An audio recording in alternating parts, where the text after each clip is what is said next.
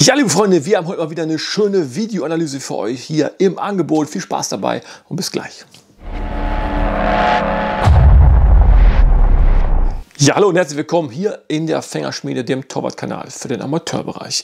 Ja, Videoanalyse haben wir heute mal wieder am Start. Was heißt das genau? In den Videoanalysen hier in der Fängerschmiede, die wir zwischendurch mal einstreuen, suchen wir uns irgendwelche Spielsituationen. Natürlich ist ein Torwart involviert aus den höheren Ligen, meistens aus der Bundesliga.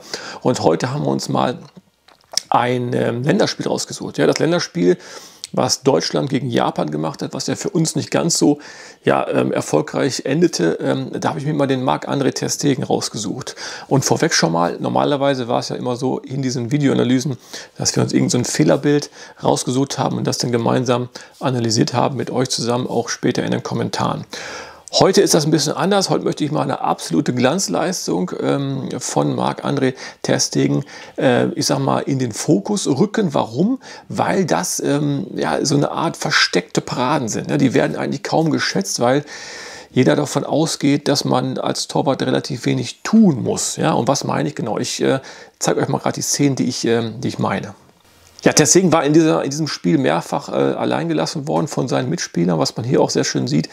Ähm, der Japaner läuft frei zu auf Marc-André Terstegen und am Ende ist es so, dass der Abschluss, also es wird abgeschlossen und der Terstegen bleibt einfach stehen. Ja, das macht er jetzt hier nochmal, andere Szene, kann man sich auch ähm, ganz gut äh, reinziehen, ist genau der gleiche Ablauf, auch hier bleibt er stehen und das hat er ja noch zwei, ähm, drei Mal und das hat er ja noch zwei, drei Mal äh, gemacht, also noch zwei, drei weitere Male gemacht in diesem Spiel. Und das ist für mich, war das eine absolute Glanzleistung. Warum?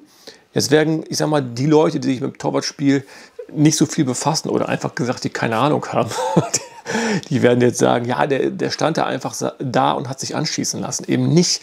Das hier ist ein, ein Zustand, eine, eine, eine Aktion, die musst du als Torwart oder als Torwarttrainer sehr, sehr lange trainieren. Ja? Die ist einfach stehen bleiben und abwarten. Warum? Normalerweise sagt man ja, ich sag mal so in der normalen Welt, im normalen Alltag, ich sag mal stehen bleiben, abwarten oder mich irgendwo hinlegen, das kriege ich noch hin, das ist immer ganz einfach. Nichts tun ist immer sehr einfach. Aber bei uns Torhütern ist es eben so, dass wir immer wir wollen immer was tun. Ja? Wir sind so, so, so Zweckaktionisten. So, und das heißt also normalerweise, ich sage mal, neun von zehn Torhütern oder Torhüterinnen wären hier irgendwie reingerutscht, wären runtergegangen, hätten einen Ballangriff gemacht, hätten einfach irgendwas gemacht, was wahrscheinlich falsch gewesen wäre. Ja, und dieses Stehen bleiben und abwarten und einfach kurz reagieren, Fuß raus oder, oder, oder Hand raus, wie in dem anderen Beispiel, ist brutal schwer. Also das ist wirklich eine Sache, die man über ganz, ganz lange Zeit trainieren muss. Ja, und das versuche ich eben auch meinen Jungs gerade so ein bisschen beizupulen. Und ähm, es ist aber super erfolgreich. Warum ist es super erfolgreich? Weil gerade, man sieht es ja, das ist ein Länderspiel. Das sind die besten Spieler äh, vermeintlich aus, aus Deutschland. Darüber kann man sich vielleicht streiten, aber sicherlich die besten Spieler aus Japan. Allesamt sehr gut in dem, was sie tun, aber trotzdem sieht man, dass die Japaner jedes Mal auf den Torwart abschließen. Ja, das hat einen gewissen, gewissen psychologischen Effekt. Ja, oder das hat einen psychologischen Grund, weil das ist genauso, als wenn ihr jetzt eine, eine riesige Wiese oder einen riesigen Abhang mit dem Schlitten runterfahrt auf Schnee und auf dem ganzen gesamten Abhang ist nur ein Baum. Ja? Und diesen Baum dürft ihr natürlich nicht treffen.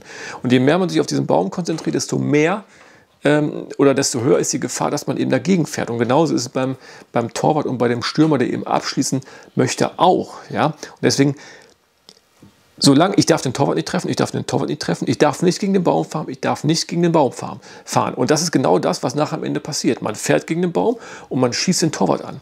Und je tiefer ich komme in den Ligen, ja, desto wahrscheinlicher und ich sage mal in, untersten, in den untersten Ligen, in den Kreisligen, Bezirksligen, da wo sie, wir so unterwegs sind, da ist es fast schon normal, dass du als Torwart angeschossen wirst, weil natürlich der, der Schütze meistens nicht ganz allein auf sich zugelaufen kommt. Er hat einen gewissen Abschlussdruck von dem, dem Innenverteidiger, der noch zwei, drei Meter hinter ihm läuft. Aber es ist eben ganz oft so, dass, der, dass die Bälle auf den Torwart geschossen werden oder maximal ein, zwei Meter daneben. Und deswegen macht es immer Sinn, immer, aus meiner Sicht, auf gar keinen Fall zu spekulieren, also sich in irgendeine Ecke fallen zu lassen. Das geht immer in der Hose. Und vor allen Dingen, das macht hier der, der, der, der Stegen wunderbar. Er bleibt oben, er bleibt in der Balance, er bleibt vor allen Dingen auch stabil und er re reagiert einfach nur. Und deswegen, ich bin total begeistert von dieser Szene, ihr merkt das schon, ähm, weil es sieht so einfach aus, aber ihr Torwarttrainer da draußen oder auch ihr Torhüter wisst, äh, das musst du ewig trainieren, ja, damit die Leute, die Torhüterinnen und Torhüter wirklich stehen bleiben, ja, weil normalerweise wollen sie, wie eben schon beschrieben, irgendwas tun. Ja, und das ist super schwierig, das da rauszubekommen. Und am Ende macht es sehr, sehr viel Sinn. Wir haben das mittlerweile schon, ich sag mal so, so 30, 40 Prozent verinnerlicht. Äh, Erik und Marcel haben schon sehr, sehr viele Bälle dadurch eben gehalten, dass sie einfach nur stehen bleiben, am Ende vielleicht noch einen Block stellen oder fast immer einen Block stellen und angeschossen werden. Das ist sau oft so und damit, damit halten sie ganz, ganz viele Bälle. Das kann ich euch auch nur empfehlen, empfehlen wenn ihr in diesem Bereich etwas mehr, ähm, ja, etwas besser machen wollt, etwas erfolgreicher sein wollt im 1 gegen 1. So, jetzt habe ich schon wieder ähm, zu viel gequatscht oder mehr gequatscht, als ich eigentlich wollte. Was mich noch total interessieren würde, wäre deine Meinung zu dieser Thematik. Ähm, es kann natürlich auch sein, dass du auch sagst, hey, das äh, mache ich sowieso immer, das muss man nicht trainieren, ich brauche einfach nur stehen bleiben. Das ist alles Quatsch, was der Sascha da erzählt. Und äh, gerne unten in die Kommentare rein, dann können wir wieder fröhlich pfeifend drüber diskutieren, so wie wir das jeden Sonntag machen. Äh, Würde mich freuen. Ansonsten super geil, dass du wieder hier warst am, diesem, an diesem Sonntag hier um 18 Uhr in der Fängerschmiede. Ich würde mich mega freuen, wenn du nächste Woche auch wieder hier wärst. Ansonsten wünsche ich dir noch eine schöne Woche. Bleib gesund und bis zum nächsten Mal. Tschüss.